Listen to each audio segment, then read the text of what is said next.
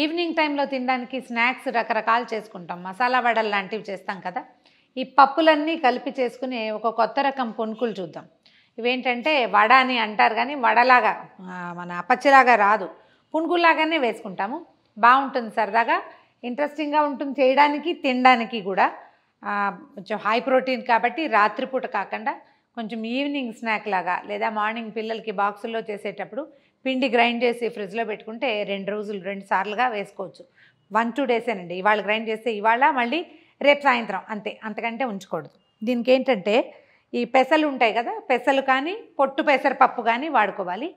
పెసరపప్పు ఒక పాలు. ఈ కప్పు అనుకోండి ఏదో ఒక కప్పుతోటి ఒక కప్పు పెసలు అయితే హాఫ్ కప్పు కందిపప్పు. Half cup. తర్వాత హాఫ్ కప్పు శనగపప్పు. హాఫ్ కప్పు మినప్పప్పు మినప్పప్పు జిగురు కోసం. ఈ మిగిలిన మూడు పప్పులు రుచి కోసం అనమాట ఓకే కదా? మళ్ళీ చెప్పనా? పెసలు లేదా పొట్టు పెసరపప్పు ఒక కప్పు. అరకప్పులు మూడు అరకప్పులు వేసుకోవాలి. కందిపప్పు శనగపప్పు మినప్పప్పు అయితే ఒక పావు కప్పు బియ్యం కానీ లేదా బియ్యం వద్దులే అనుకుంటే ఒక రెండు స్పూన్ల బియ్య పిండి చివరిలో అయినా యాడ్ చేసుకోవచ్చు. వీటిని ఏం చేయాలంటే పప్పులన్నింటినీ శుభ్రంగా రెండు మూడు సార్లు కడిగేసేసి బాగా కాసిన వేడివేడి నీళ్ళు పోసి నానబెట్టి వదిలేయండి. కనీసం ఒక నాలుగు గంటలు నానితే చాలా ఫ్లఫీగా బాగా వస్తాయి. మనకు అంత టైం లేదనుకుంటే టూ అవర్స్ హాట్ వాటర్ పోస్తే రెండు గంటలు నానబెడితే సరిపోతుంది. పప్పులు నానబెట్టేశాక అది ఇగో ఇలా ఫుల్గా తయారవుతాయి. అన్ని గింజలు బాగా నానిపోయినాయి చూడండి. చక్కగా ఉన్నాయి మెత్త మెత్తగా. వీటిని ఇదిగోండి. పెసర గింజ ఎట్లా నానిపోయిందో. ఈ పెసలు వేయటం వల్ల ఏంటంటే ఇందులో పొట్టు ఉంటుంది కాబట్టి మనకి సరిపోతుంది.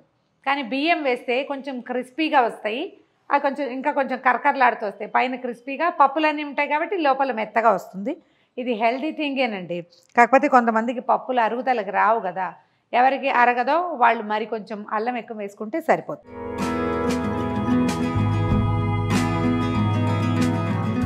మిక్సీ జార్లో పప్పులన్నీ వేసేసేయండి. తర్వాత దీంతో పాటు ఒక అర డజన్ పచ్చిమిర్చి. మన కారాన్ని బట్టి వీటి కొంచెం పడతాయండి. మామూలుగా మనం పెసరట్లకి ఎట్లా గ్రైండ్ చేస్తాం? అట్లా పచ్చిమిర్చి అల్లము వేసేసి గ్రైండ్ చేయాలి. అల్లం మోతాదు కంటే ఎక్కువే వేస్తుందండి మామూలుగా ఈ సైజు పప్పులకి మనకు ఒక ఇంచి అల్లం సరిపోతుంది. ఇప్పుడు టూ ఇంచెస్ అల్లం తీసాను. ఎందుకంటే ఇన్ని పప్పులు అరగడం కష్టం కాబట్టి గ్రైండ్ చేసేద్దాం. దీన్ని ఒట్టి పప్పులే ఉన్నాయి అనుకోండి. ఇందులో బియ్యం లేవు. ఒట్టి పప్పులే ఉంటే ఇట్లా తిప్పి ఓ అని దాని ఇష్టారాజ్యంగా పోని ఇవ్వకండి కొద్దిగా చూసుకుని గ్రైండ్ చేసుకోవాలన్నమాట. వన్ వన్లోకి తిప్పటం మళ్ళీ వెనక్కి తిప్పేయటం మళ్ళీ వన్లోకి తిప్పటం అట్లా చేయాలి. ఒక మూడు నాలుగు సార్లు చేసేసరికల్లా మనకి కావాల్సినంత మెదిగిపోతుంది. ఇది కాటుకలాగా రుబ్బకూడదు చిన్న బరకు ఉండాలి. తర్వాత మనం బియ్య పిండి కలుపుకోవచ్చు. బియ్యం కనుక ఉంటే ఇంకొంచెం తిరగనివ్వండి సరిపోతుంది. మనం ఏ కొలతతో పోసామో అందులో ఒక చిన్న కొలత అన్ని నీళ్ళు పోయించాలి పావు కప్పు. అంతకంటే నీళ్ళు అక్కర్లేదు. ఎందుకంటే ఇది లూజ్గా అయిపోతే సరిగ్గా రావు మనకి. ఇదిగోండి మనం పిండి రుబ్బేసాము. బరగ్గా ఉంది కొంచెము. ఇది ఎక్కువ మెత్తగా చేయకూడదు. అయితే మన ఇవన్నీ పప్పులు ఫ్రెష్ పప్పు ఇప్పుడే కదా తీసాము. అంటే ఇప్పుడే గ్రైండ్ చేస్తున్నాము. ఇది వేయగానే కొంచెం కొయ్యలా ఉంటుందనే ఫీలింగ్ వస్తుంది. అందుకని జనరల్గా ఏం చేస్తారంటే సోడా వేసేస్తారు ఇందులో. సోడా వేస్తే చక్కగా మన మైసూర్ బోండాలు ఉబ్బినట్టు ఇంతంత లావును వచ్చేస్తాయి. బట్ ప్రతిసారి ఈ ఇది వాడకూడదండి. శనగపిండికి తప్పనిసరిగా అది పొంగదు కాబట్టి ఏదో వేసుకుంటారనుకోండి.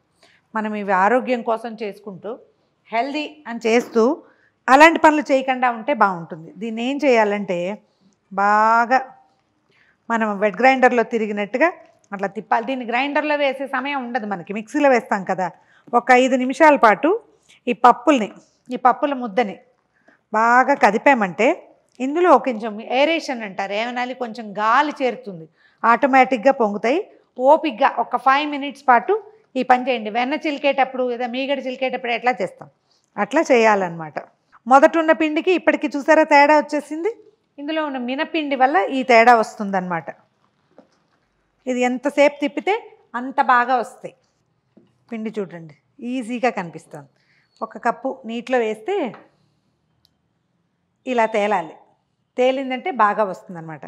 ఇంకొక నిమిషం దీని సంగతి చూద్దాము. అప్పుడు ఇందులో ఉప్పు ఇందులోకి మనం ఆల్రెడీ అల్లం పచ్చిమిర్చి వేసాం కాబట్టి కారం అక్కర్లేదు. కొంచెం జీలకర్ర తర్వాత ఏమో కాస్త మిరియాల పొడి కొత్తిమీర. ఉల్లిపాయలు ఏం వేయక్కర్లేదండి. ఊరికే ఒక శాస్త్రానికి ఒక చిట్టి ఉల్లిపాయని సన్న ముక్కలు తరిగి వేస్తే వాసన బాగుంటుంది అంతే ఎక్కువ ఉల్లిపాయలు ఉల్లిపాయలుగా చేసుకోక్కర్లేదు. ఇంకొకసారి వేద్దాం చూడండి. చెండులాగా తేలుతుందా? ఇలా తేలితే ఎక్సలెంట్గా వస్తుంది. మీరు గారెలు వేసేటప్పుడు కూడా ఇంతేనండి. గారెల పిండి రుబ్బేసుకున్నాక ఆ గారె పిండిని ఒక్క ఐదు నిమిషాల పాటు ఒకసారి తడిచే చేసుకోవటం బాగా కొట్టేస్తే బ్రహ్మాండంగా వస్తాయి గారెలు చాలా బాగా వస్తాయి. మసాలా వడలు వాటికి కూడా అంతే. సో ఇప్పుడు ఇందులో దీనికి సరిపడా ఉప్పు వేసుకుందాము మన పిండిని బట్టే కదా. మన రుచిని అనుసరించి ఉప్పు తర్వాత ఏమో ఒక హాఫ్ టీ స్పూను జీలకర్ర. ఒక పది పదిహేను మిరియాలని దంచాను. ఎక్కువగా మెత్తగా కాదు కొంచెం బరగ్గా అది కూడా వేస్తా. ఇవి డైజెస్ట్ అవ్వడానికి బాగా పనిచేస్తాయి అన్నమాట స్టవ్ వెలిగించి నూనె పెట్టేద్దాము.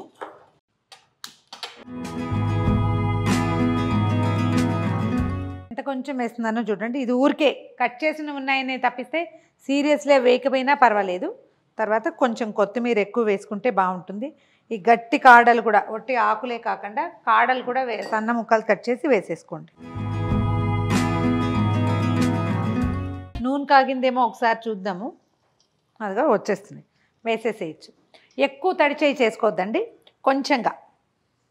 మనం పునుకులు ఎలా వేస్తాం? అట్లా వేసేయటమే. మీకు పెద్ద సైజు కావాలంటే పెద్ద పెద్ద వేసుకోవచ్చు. సైజు నా చెయ్యి అంత పెద్ద పెద్దవి పడదు. నేను మైసూర్ బోండాలు కూడా బుజ్జి బుజ్జివే వేస్తాను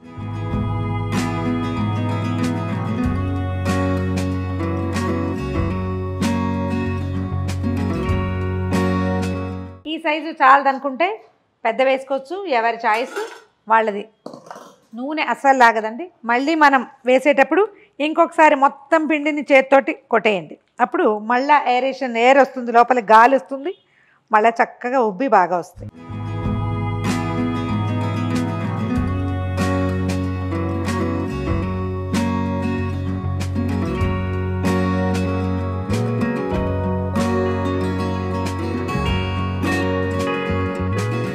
మనం పునుగులు వేసిన ప్రతిసారి పిండిని బాగా కొడితే చక్కగా గాలి లోపలికి వెళ్తుంది బాగా ఉబ్బి చక్కగా వస్తాయి. ఎంత పైన క్రిస్ప్గా కనపడుతుందా? గరుగ్గా? లోపల చూడండి ఎంత మృదువుగా ఉందో. నిదానంగా కాలుతుంది లోపల బాగా చక్క సాఫ్ట్గా వస్తుంది. ట్రై చేసి చూడండి. ఇవేంటంటే ఇంకా పెద్ద పెద్దవి మనం మైసూర్ బొండాలాగా ఇంతంతలా వేస్తే లోపల అంత ఉడకదు. అందుకని ఈ చిన్న సైజు ఇంత మీడియం సైజే వేసుకోవాలి.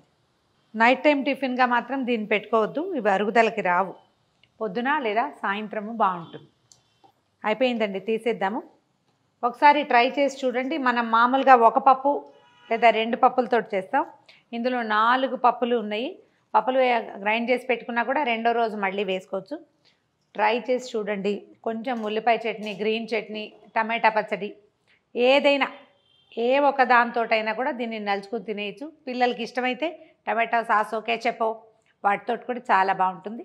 ప్రయత్నం చేసి చూడండి. నాలుగు పప్పులు కొంచెం బియ్యంతో ఇంత చక్కటి స్నాక్ తయారైపోతుంది.